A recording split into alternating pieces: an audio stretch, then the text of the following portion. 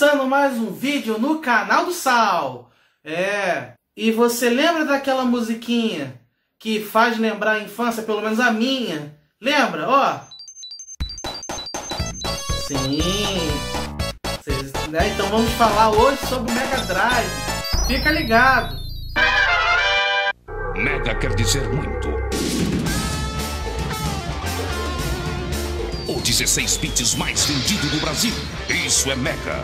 Mais de 280 jogos lançados. Isso é Mega. Mega Drive. A gente vai relembrar um pouco a nossa infância, né?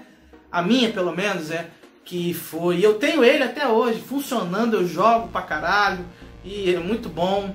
E eu queria até dar umas dicas para vocês também sobre o site AliExpress, né? Que eu compro muitos jogos ali, não originais, mas que rodam, rodam né, iguais. São cópias né, das fitas né, originais do, do Mega Drive funciona para mim perfeito. Então eu vou dar essa dica para vocês aí e vamos falar né, sobre esse negão, né, apelido de negão né, na nossa infância que fez gerações e continua até hoje, pelo menos a minha, né? E o LEDzinho dele, até hoje aí, mais de 30 anos funcionando bem. E os dois botões, o lado direito é o reset e o lado esquerdo é o power. Às vezes o jogo não funcionava, então o que, que a gente fazia? Desligava o videogame, tirava o cartucho e dava aquela bela soprada.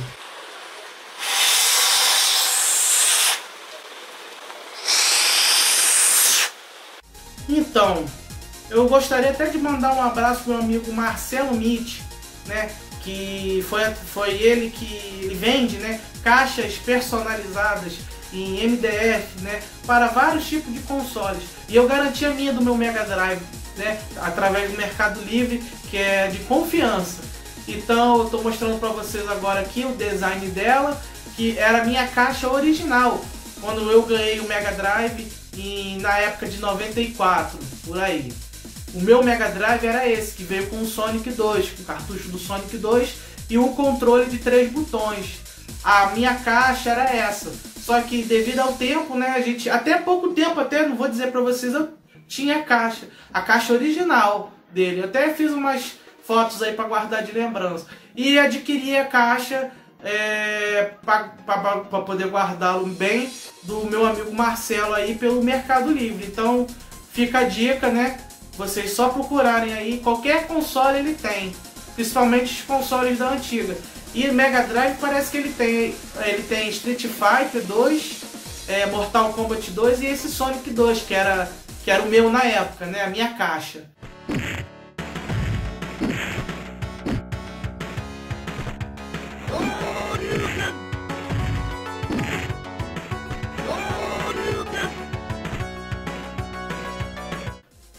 Mega Drive, conhecido também na América do Norte como Sega Genesis, é um console de videogame de 16 bits da Sega, que concorria diretamente com o Super Nintendo, o SNES. O console fez grande sucesso na década de 1990, perdendo espaço após o surgimento e popularização da nova geração de consoles de 32 bits, como o PlayStation da Sony. Dentre os jogos de maior sucesso desse sistema está a série Sonic the Hedgehog, a aventura de um veloz ouriço azul para salvar os animais do seu planeta. O jogo foi criado com o objetivo de mostrar a, capaci a capacidade do console de processar informações rapidamente e ainda cativar o público jovem, criando assim a SEGA, seu, seu próprio mascote né, e maior símbolo. A velocidade do jogo tinha por objetivo mostrar a superioridade do processador do Mega Drive em relação ao console de 16 bits da Nintendo. No Brasil, o Mega Drive ainda é produzido pela Tectoy, com novas versões. No exterior, de 2016 até o momento, e em 5 de maio de, de 2017, a Tectoy relançou o console, o Mega Drive.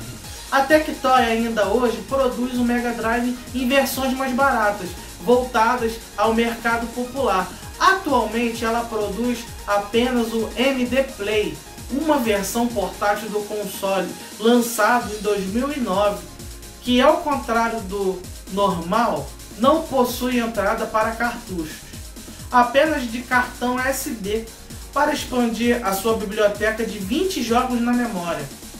Outros recursos incluem tela LCD de alta resolução e uma bateria interna recarregável. É a segunda versão móvel da Tectoy, depois do Mega Drive portátil, lançado em 2007, sem método de expansão. As últimas versões tradicionais da Tectoy não possuem entradas para cartucho, permitindo apenas usar os jogos salvos na memória interna. Para compensar, compensar a fabricante criava novos jogos originais inspirados em games da época. O Mega Drive 3 de 2008 tinha entre seus 81 jogos na memória versões de quatro jogos da Electronic Arts, baseados em versões para celular. O FIFA 2008, o Need for Speed, o Paul Street, The Sims 2, The SimCity.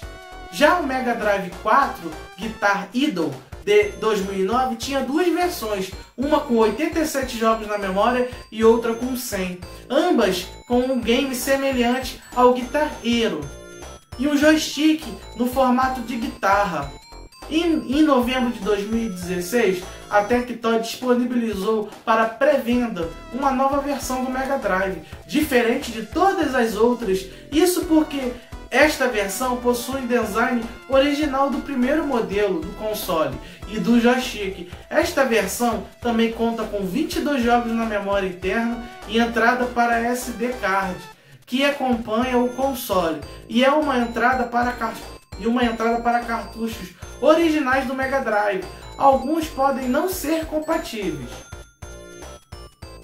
O controle original do Mega Drive tinha três botões a, B e C.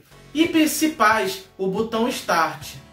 Em, dois, em, em 1993, com seis botões principais adicionados Y, e, é, X e Z foram lançados e feitos especialmente para jogos de luta e tem função de alternar entre modos de 3 ou de 6 botões para ser compatível com todos os jogos.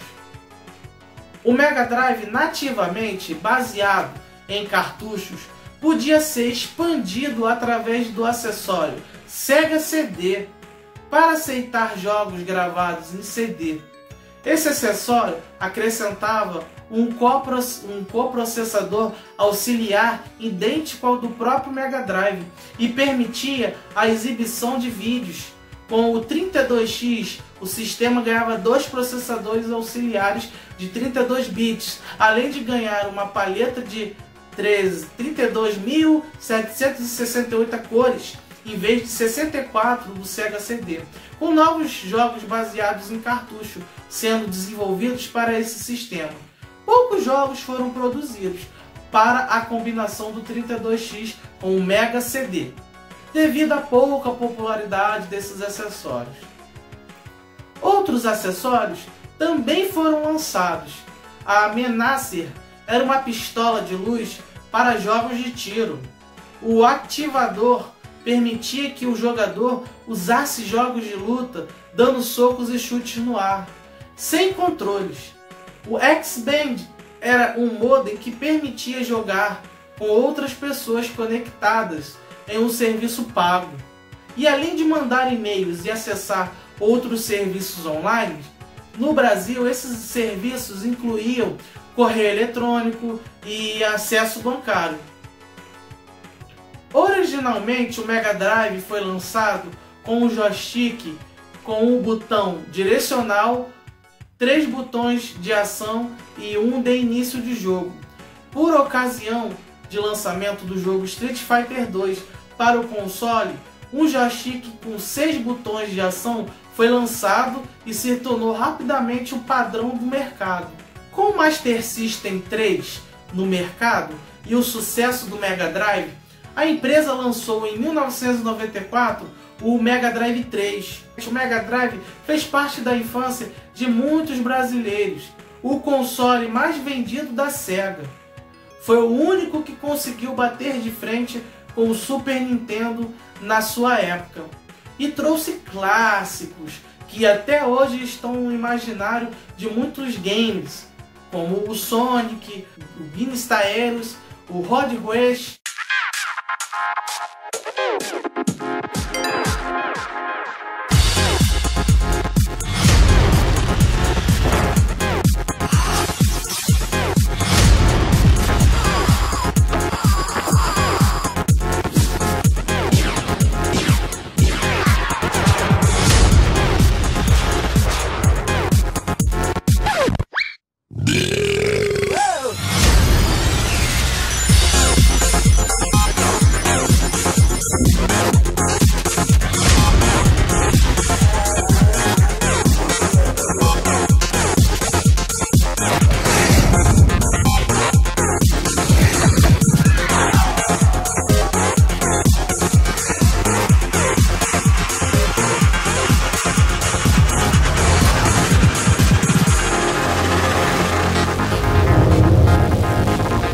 Então, galera, esse cabo de extensão, eu comprei ele pelo site AliExpress.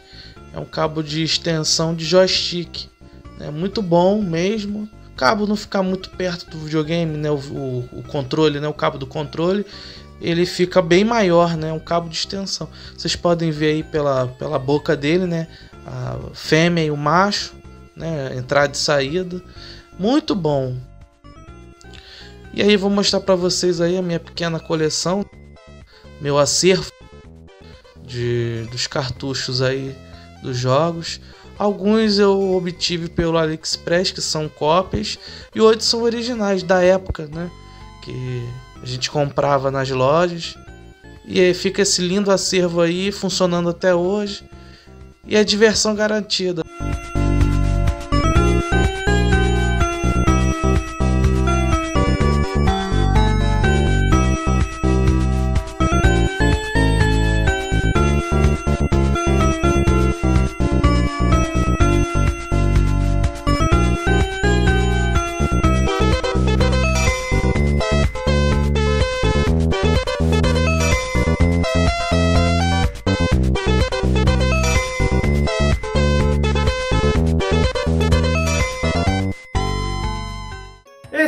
Foi bacana, né, galera? Mas infelizmente tudo que começa tem que, tem que ter um fim, né?